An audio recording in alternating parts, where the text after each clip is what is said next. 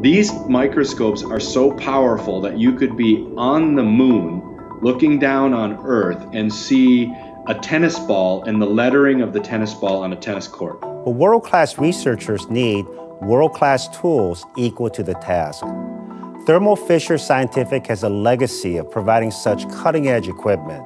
The Next Gen Precision Health Initiative is about delivering the right care to the right patient at the right time. It is very unique to have one institution that has all of the capacity, research, support required to house an entire suite of instruments. You know, most of our customers only focus on either materials research or life sciences research. It's really unique and interesting that the University of Missouri chose to do both.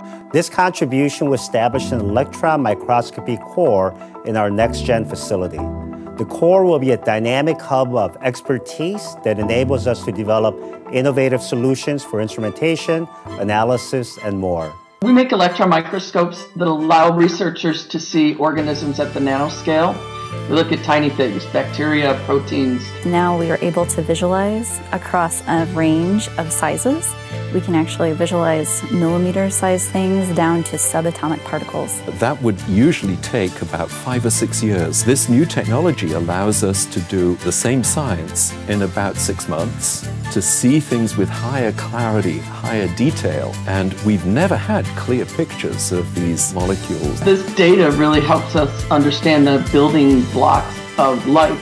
So researchers have used our instruments to uncover the spike protein in coronavirus, for example, and that really helps speed the path to vaccine development. The equipment will also offer complete workflow analysis for our researchers and industry partners, while the facility will provide training opportunities for our students. Although it's housed in the Next Gen Precision Health uh, building, this will actually be a UM system resource. So investigators from University of Missouri Kansas City, University of Missouri St. Louis, or Missouri Science and Technology can come to our campus and use these instruments.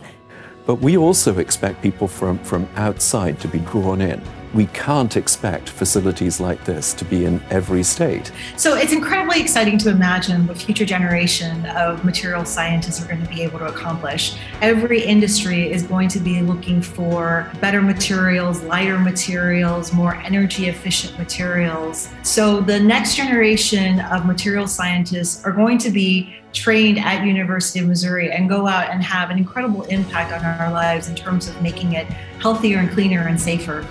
I want to thank Thermo Fisher for seeing the potential of NextGen. Through this partnership, MU's combination of equipment, researchers, and collaboration is capable of remarkable transformation. Thanks to this partnership with Thermo Fisher, NextGen is going to fundamentally transform healthcare, which will improve the lives of Missourians and beyond.